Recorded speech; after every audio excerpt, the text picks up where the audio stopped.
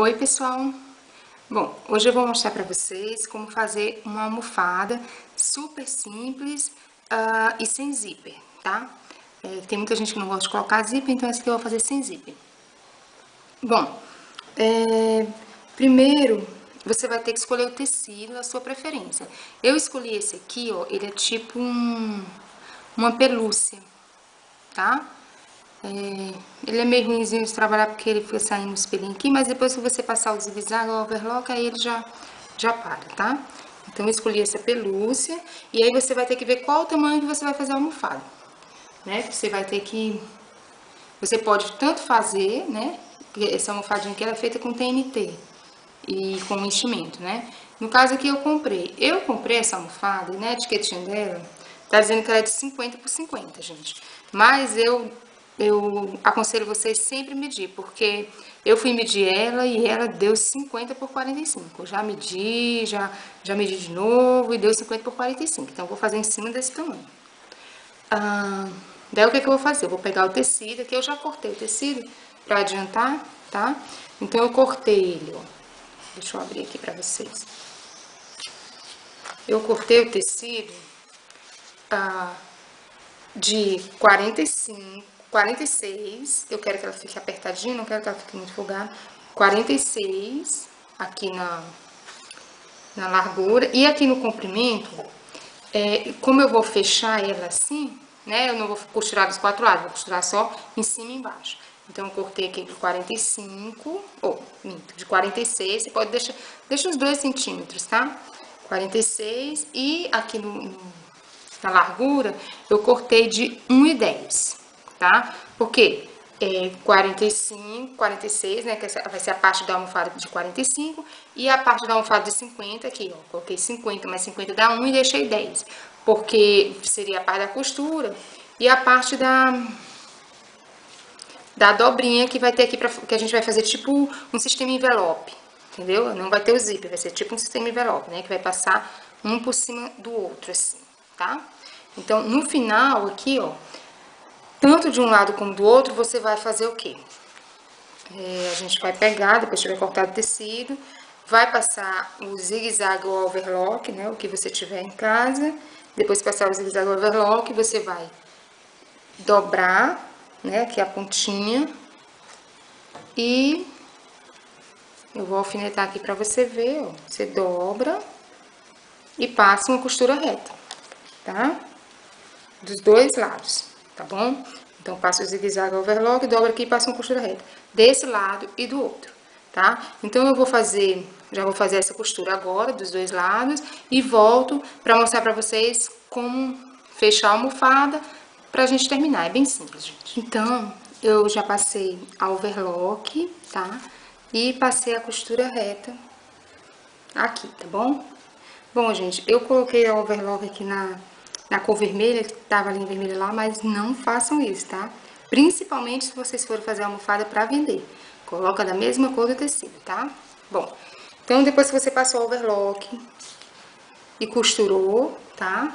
Ó, dos dois lados, tá? Desse, ó. E desse outro lado, nas duas extremidades, tá bom? Ó. Aí o que, que a gente vai fazer? A gente vai juntar ele. É, pode ser no meio ou um pouquinho... É, eu acho que o, o melhor é que ele não seja bem no meio, que ele seja um pouquinho mais para um dos lados, digamos assim, tá? E aí, ó, você vai fazer o quê? Você vai, ela vai ficar assim, ó, você vai transpassar.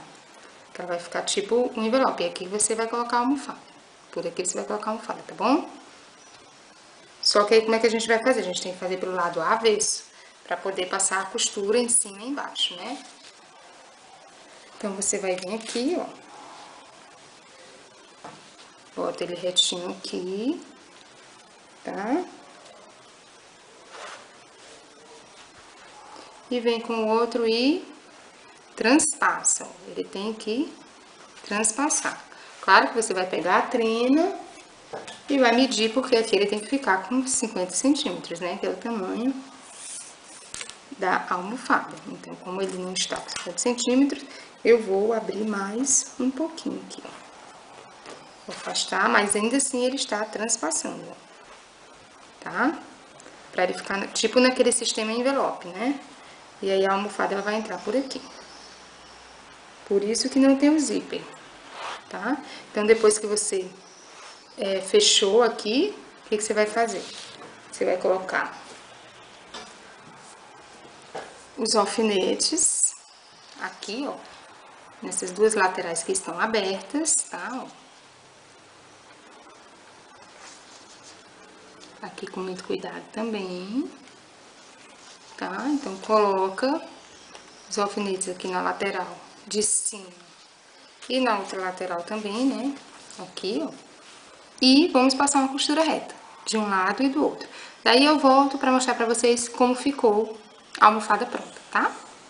Então, eu já passei uh, aqui em cima, embaixo passei o overlock e passei a costura reta, tá? E assim fechei a minha almofada, ó, certo? Agora a gente vai desvirar ela, tá? Olha só.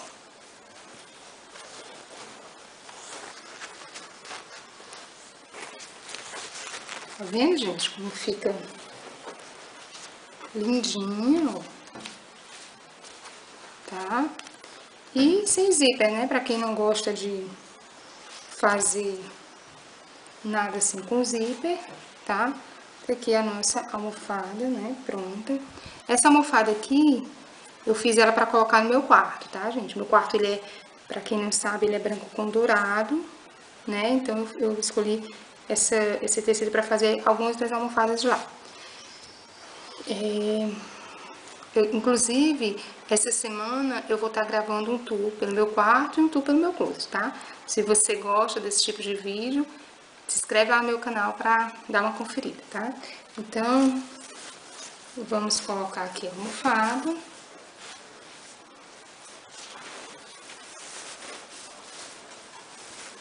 Aí você ajeita ela bem, né? E tá pronta a nossa almofada. Olha só, gente. Lindinha, fofinha, tá? Então é isso, gente. Vocês podem fazer com o tecido que vocês acharem melhor. Bom, se você gostou desse vídeo, clique em gostei e não se, inscreve, não se esqueça de se inscrever no meu canal, que é, tem vários vídeos lá de passo a passo e também de tour, tá? Como eu falei antes, eu vou gravar essa semana tour pelo meu quarto e pelo meu closet e vocês vão ver essa almofadinha lá, porque ela vai pro meu quarto, tá bom? Bom, gente, é isso. Espero que vocês tenham gostado e até os próximos vídeos. Tchau!